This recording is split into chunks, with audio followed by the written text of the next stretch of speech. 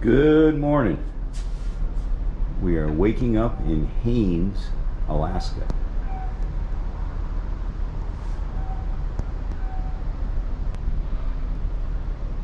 The tide change is so great here that even though we're docked, they need to use tender boats to bring us ashore. Later in the day when the tide rises, we'll be able to go back to using the docks. That right there, that yellow boat is the tender boat. Look at that scenery. This place is beautiful.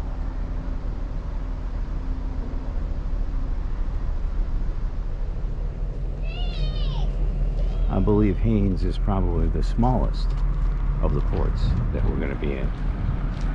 I don't think this is caught up to the concept of uh, cruise passengers. It hasn't become uh, completely commercialized yet, but I kind of think it's on its way.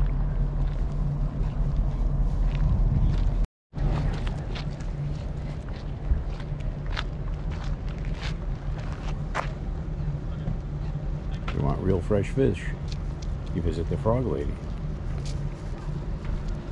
I wonder if she's got frog legs. This way. Probably not. Okay, go, go past the post office.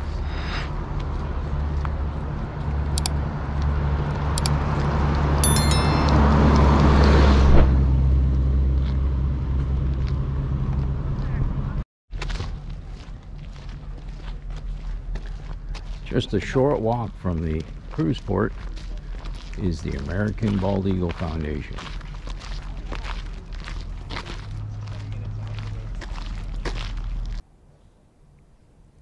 This is Bella, a bald eagle. She flew into a power line, and her injury required partial amputation of her right wing. And she was brought here for rehabilitation. As you watch her, her stare makes you feel like you could be her prey. Adult bald eagles have a wingspan of six to seven and a half feet. They weigh 6 to 14 pounds, and their nests can be extremely large. The largest recorded nest was 9.5 feet in diameter, 20 feet deep, and weighed almost 3 tons. Hi, handsome.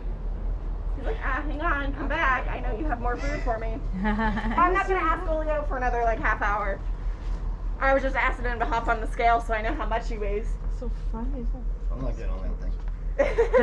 Oh, right? Like, funny. I, we ask all the Bruce to step on the scale every single day, but I can't tell you the last time I stepped on a scale. I've been on a cruise for four days. I'm like, Oh, Yeah, absolutely. The winter here is really cold and it's dark all the time, so I do a lot of cooking.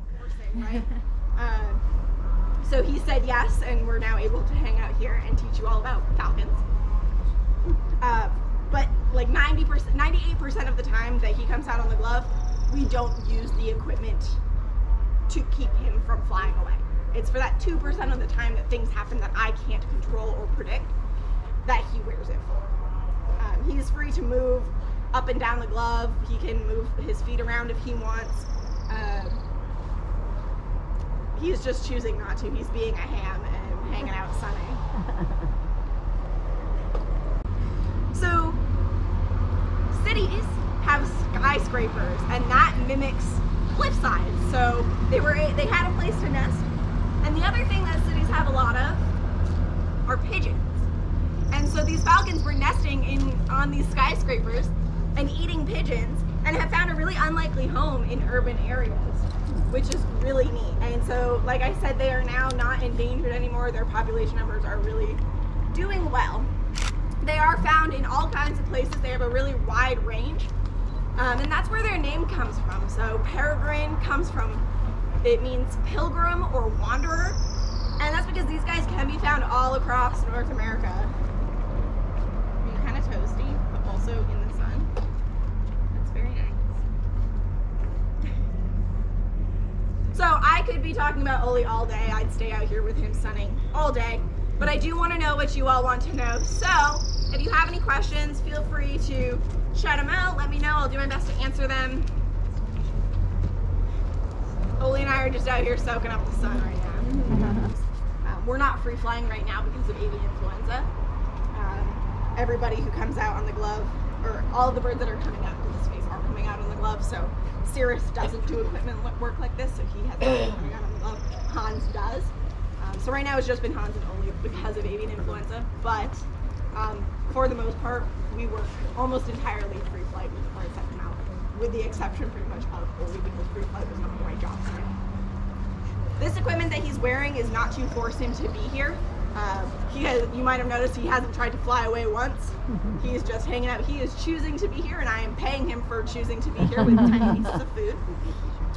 Um, the equipment that he's wearing is just in case something that I can't predict happens. Uh, if a dog or a small child or something came running right up on us, and I couldn't predict that, Oli would do the smart bird thing of putting him somewhere safe and trying to fly away. And because he's a falcon and can go really fast, he would do that so quickly that I would lose sight of him. And so, for safety, he does wear this equipment. Uh, but I had to ask before I put every single piece of it on, and I had to ask him to step onto the glove. Um, so he could have said no at any point in time, and he knows that he gets to come out in the sun if they are obligate carnivores, so they don't eat plants. Oli's actually afraid of plants. We don't know why, but he's afraid of them. So we'll often give plants as enrichment um, for the other birds. So you might notice some of the birds have branches hanging Yeah. in their enclosures to mimic natural tree cover, um, or we'll take like skunk cabbage leaves and wrap their bits in it and give them to them so that they can rip through it. But they'll never eat those plants. It's just a new texture, um, something new for them to rip into. We don't do that for Oli because he's afraid of plants. Insects? No, um, there are some raptors that are insectivores. Um, I know kestrels, really tiny falcons, they are, uh, but nobody on our team. That's the sky is for. And not far from the port, you can also visit the Hammer Museum.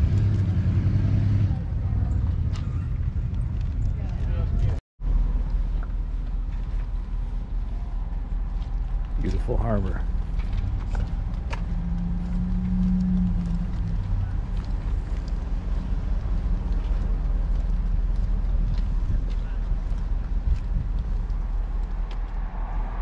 Way back to the ship, we noticed these tombstones and walked up here, this gravesite.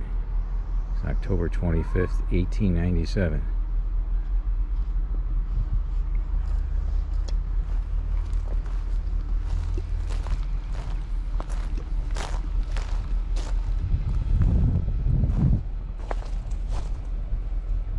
This one here, Mr. David Shaw Nagel, Natkel, died in Haines, Alaska, December 12th, 1906.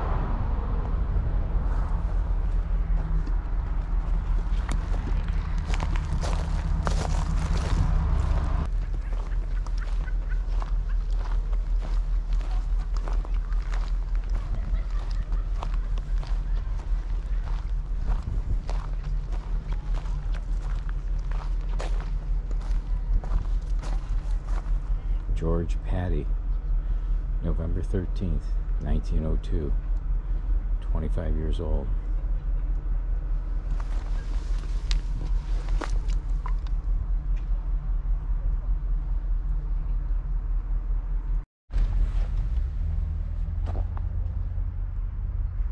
On the way back to the ship, we ran across some tombstones and this display the Keystone Driller.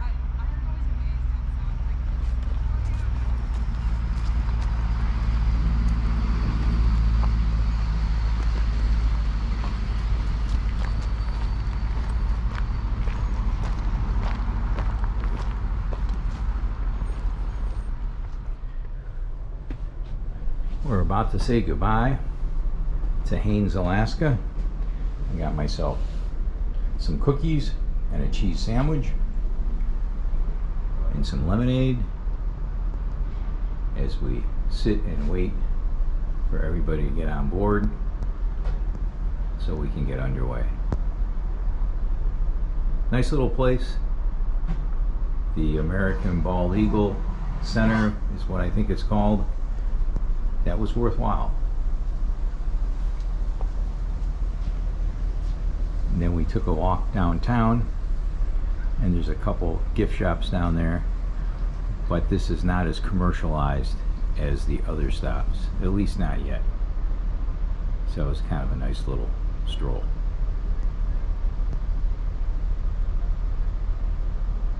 And now it's at high tide. Dramatic difference, more than 20 feet.